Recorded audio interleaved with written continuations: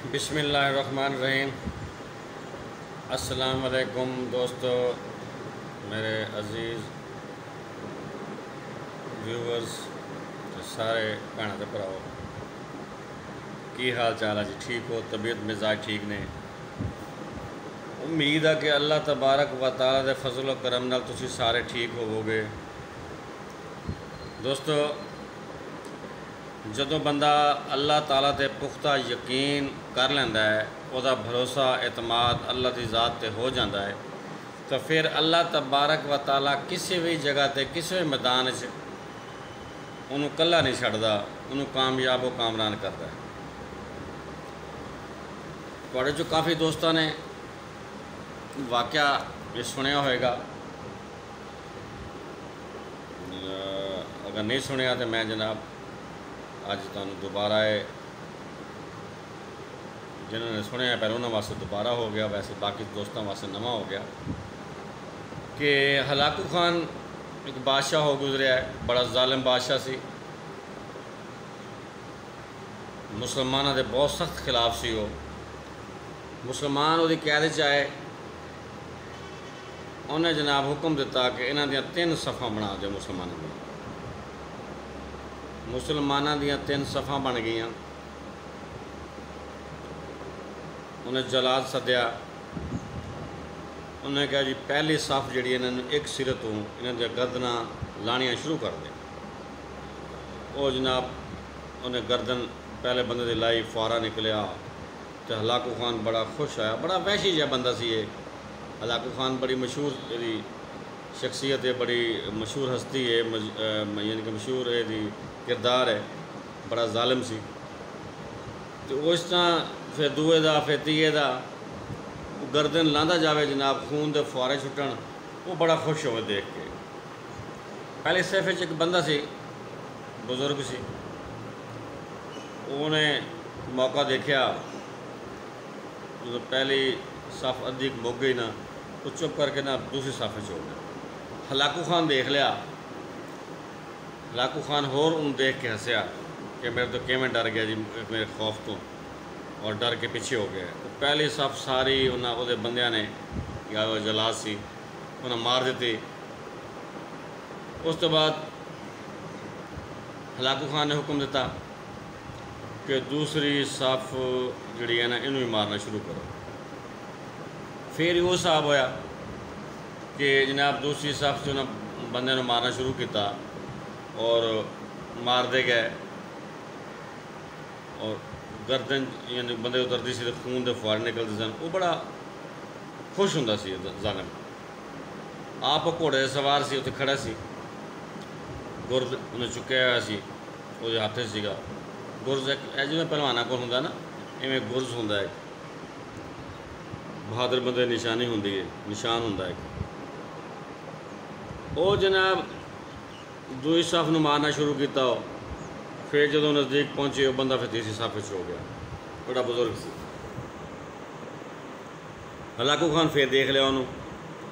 ਇਹ ਦੇਖ ਕੇ ਤੇ ਉਹ ਹੋਰ ਮੁਸਕਰਾਇਆ ਕਿ ਹੱਸਿਆ ਖਿਲਿਆ ਯਾਨੀ ਕਿ ਖੁਸ਼ ਹੋਇਆ ਕਿ ਇਹ ਬੰਦਾ ਮੇਰੇ ਡਰ ਤੋਂ ਦੇਖ ਕਿਵੇਂ ਪਿੱਛੇ ਤੋਂ ਪਿੱਛੇ ਹੁੰਦਾ ਜਾ ਰਿਹਾ। ਉਹ ਜਨਾਬ ਜਦੋਂ ਦੂਈ ਸਫ ਬੰਦੇ ਸਾਰੇ ਮਰ ਗਏ, ਫਿਰ ਹਲਾਕੂ ਖਾਨ ਨੇ ਹੁਕਮ ਦਿੱਤਾ ਕਿ ਹੁਣ ਜਨਾਬ ਤੀਸਰੀ ਜਿਹੜੇ ਸਫ ਦੇ ਬੰਦੇ ਇਹਨਾਂ ਨੂੰ ਮਾਰਨਾ ਸ਼ੁਰੂ ਕਰ ਦਿਓ। ਜਲਾਦ ਨੇ ਹੁਕਮ ਦੇ ਪਾਬੰਦ ਸਨ। ਉਹਨਾਂ ਤੀਸਰੀ ਸਫ ਦੇ ਬੰਦਿਆਂ ਨੂੰ ਮਾਰਨਾ ਸ਼ੁਰੂ ਕਰਤਾ। ਇਦਾਂ ਹੀ ਗਰਦਨ ਲਾਉਂਦੇ ਗਏ। ਜੋ ਹੀ ਗਰਦਨ ਉਤਰੇ ਜਨਾਬ। ਸਾਫ਼ ਜ਼ਾਹਿਰ ਖੂਨ ਦੇ ਫੌਰਨ ਨਿਕਲਣੇ ਸਨ। ਉਹ ਬੜਾ ਖੁਸ਼ ਹੋਵੇ ਜੀ। ਜਦੋਂ ਤੀਸਰੀ ਸਫ ਦੇ ਸਾਰੇ ਬੰਦੇ ਮਰ ਗਏ ਕੋਈ ਜਿਹੜਾ ਬੰਦਾ ਸੀ ਬਜ਼ੁਰਗ ਬਚ ਗਿਆ। ਹਲਾਕੂ ਖਾਨ ਰੋਕਤਾ ਉਹਨੂੰ ਜਲਾਦ ਨੂੰ, ਕਿ ਇਹਨੂੰ ਨਹੀਂ ਮਾਰਨਾ। ਉਹਨੇ ਕਿ ਹਾਂ, ਹੁਣ ਦੱਸ ਬਈ। ਤੂੰ ਆਪਣੇ ਆਪ ਨੂੰ ਬਚਾਉਣ ਦੇ ਖਾਤਰ ਪਹਿਲੇ ਸਫ 'ਚ ਦੂਸਰੇ ਸਫ 'ਚ ਆਇਆ, ਫਿਰ ਦੂਸਰੀ ਤੀਸਰੀ ਸਫ 'ਚ ਆਇਆ, ਠੀਕ ਹੈ। ਤੂੰ ਤੀਸਰੀ ਸਫ ਬੰਦੇ ਮਰ ਗਿਆ, ਤੂੰ ਇਕੱਲਾ ਹੀ ਬਚ ਗਿਆ। ਦੱਸ ਤੈਨੂੰ ਹੁਣ ਹੁਣ ਤੂੰ ਕਿਵੇਂ ਬਚਾਏਗਾ ਆਪਣੇ ਆਪ ਨੂੰ? ਉਹਨੇ ਕਿਹਾ, ਜੀ, ਮੈਂ ਕੀ ਬਚਾਣਾ ਹੈ? ਮੇਰੀ ਤੇ ਕੋਈ ਔਕਾਤ ਨਹੀਂ ਹੈ। ਲੇਕਿਨ ਮੈਨੂੰ ਆਪਣੇ ਰੱਬ ਰੱਬ ਤੇ ਆਪਣੇ ਅੱਲਾ ਤੇ ਭਰੋਸਾ ਹੈ। ਉਹ ਮੈਨੂੰ ਬਚਾਏਗਾ। ਉਹਨਾਂ ਕਹਾ ਕਹੇ ਆਪਣੇ ਰੱਬ ਨੂੰ ਬਚਾਵੇ। ਨਾਲੇ ਉਹ ਹੱਸਿਆ, ਉਹ ਜਿਉਂ ਹੀ ਹੱਸਿਆ ਨੇ, ਕਹਿ ਕਾ ਲਾ ਕੇ ਹਲਾਕੂ ਖਾਨ, ਉਹ ਗੁਰਦੁਆਰਾ ਥੱਲੇ ਡਿੱਗ ਪਿਆ। ਜਿਉਂ ਥੱਲੇ ਡਿੱਗਿਆ ਤੇ ਉਹਨੇ ਇੱਕ ਲੱਤ ਰਕਾਬ ਜੋ ਕੱਢਿਆ। ਇੱਕ ਰਕਾਬ ਦੇ ਵਿੱਚ ਰਹਿ ਸੀ, ਉਹ ਚੁੱਕਣ ਲੱਗਾ ਨਾ, ਤੇ ਘੋੜਾ ਡਰ ਪਿਆ। ਘੋੜਾ ਡਸ ਪਿਆ ਉੱਥੋਂ। ਹੁਣ ਪੈਰ ਉਹਦਾ ਫਸ ਗਿਆ ਰਕਾਬ ਵਿੱਚ।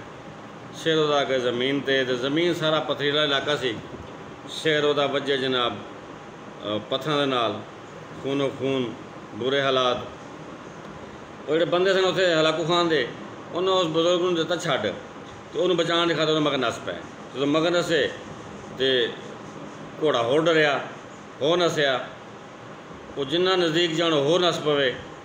ਕਰਦਿਆਂ ਕਰਦਿਆਂ ਆਖਰ ਉਹਨਾਂ ਘੋੜੇ ਨੂੰ ਘੇਰ ਲਿਆ, ਜਿਹੜੇ ਉਹਦੇ ਹੈ ਸਨ ਅ, ਹਲਾਕੂ ਖਾਨ ਦੇ ਫੌਜ ਦੇ ਬੰਦੇ ਸੀ ਜਾਂ ਉਹਦੇ ਵੈਸੇ ਉਹਦੇ ਉਹਦੇ ਗਰੋਹ ਦੇ ਬੰਦੇ ਸੀ।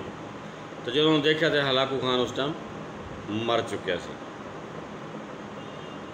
ਦੋਸਤੋ ਮੇਰੇ ਅਜ਼ੀਜ਼ ਭੈਣਾਂ ਤੇ ਭਰਾਓ ਗੱਲ ਕਰਨ ਦਾ ਮਕਸਦ ਇਹ ਹੈ ਕਿ ਅੱਲਾਹ ਤਬਾਰਕ व ਤਾਲਾ ਦੀ ਜ਼ਾਤ ਜਿਹੜੀ ਹੈ ਨਾ ਇਹ ਬੜੀ ਗਫੂਰ ਰਹੀਮ ਹੈ। ਉਸ ਤੇ ਇਤਮਾਦ ਇਤਕਾਦ ਭਰੋਸਾ ਰੱਖਣਾ ਸਾਡਾ ਕੰਮ ਹੈ। ਤੁਸੀਂ ਪੱਕੇ ਪੁਖਤਾ ਯਕੀਨ ਨਾਲ ਕੋਈ ਵੀ ਕੰਮ ਹੈ, ਅੱਲਾ ਤੇ ਭਰੋਸਾ ਕਰਕੇ ਅੱਲਾ ਕੋਲੋਂ ਮੰਗੋ, ਅੱਲਾ ਦੇ ਅੱਗੇ ਇਲਤਜਾ ਕਰੋ, ਗਿੜਗੜਾ ਕੇ ਰੋ ਕੇ ਮੰਗੋ, ਉਹ ਜ਼ਾਤ ਪੂਰੀ ਕਰ ਦਿੰਦੀ ਹੈ। ਠੀਕ ਹੈ ਨਾ? ਹਾਲਾਂਕਿ ਉਹ ਹਲਾਕੂ ਖਾਨ ਬੜਾ ਮਗਰੂਰ ਬੰਦਾ ਸੀ। ਉਹਨੂੰ ਪਤਾ ਸੀ ਕਿ ਰੱਬ ਕਰੀਮ ਜਿਹੜਾ ਨਾ, ਉਹ ਇਹਨੂੰ ਕਿਵੇਂ ਬਚਾਏਗਾ।